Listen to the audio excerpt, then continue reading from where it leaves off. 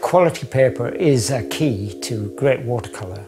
I look always for a very strong paper, an even texture, which holds colour beautifully. Winsor & Newton watercolour papers are cylinder mould made and 100% cotton fibres. They're all acid free with no optical brighteners.